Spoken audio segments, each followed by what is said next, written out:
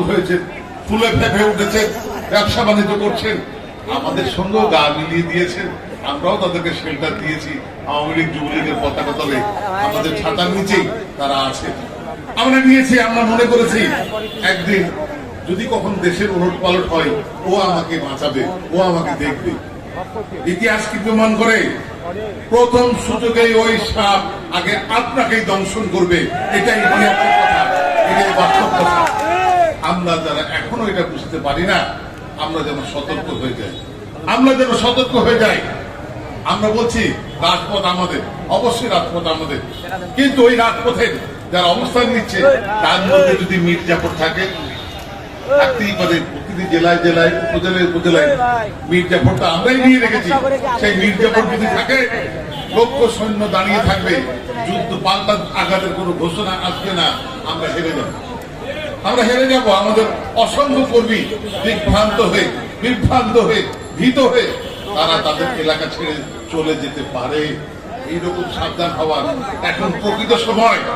পরপর চোদ্দ বছরের কাছাকাছি ক্ষমতায় থাকার কারণে ওই বিএনপি জামাত জাতির সহ যারা আছে, তারা কোনোভাবেই সহ্য করতে পারছে না।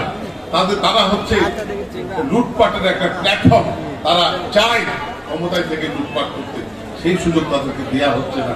এই কারণে তারা অত্যন্ত কষ্টে আছে। এবং যে কথাটি তারা বলছে, তারা যে কোনো মূল্যে তত্ত্বাবধায়ক সরকারের দাবি আদায় করবে, নচেত কোনো নির্বাচন হবে না।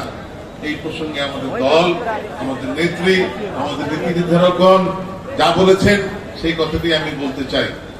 উন্নত বিশ্বের মতো, ভারতবর্ষ, ইংল্যান্ড সহ উন্নত গণতান্ত্রিক দেশগুলোর মতো শেখ হাসিনার প্রধানমন্ত্রীত্বের সরকার রেখেই নির্বাচন কমিশনের মাধ্যমে নির্বাচন সামনের দিনে হবে? এবং এই নির্বাচনে যদি বিএনপি সহ অন্য দলরা যোগদান করে, তাদেরই ভালো। আর যোগদান যদি না করে, নির্বাচন কারোর জন্য থেমে থাকবে না। তেরো সালও থেমে থাকেনি, আঠারো সালও থেমে থাকেনি।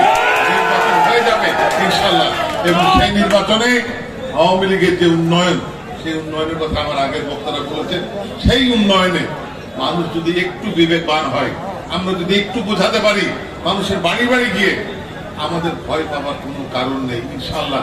রাজপথেও আমরা, ব্যালটেও আমরা, আগামী সংসদ ইনশাল্লাহ শেখ হাসিনার নেতৃত্বে আমরাই যাব, আমরাই থাকব, আমরাই দেশের শাসন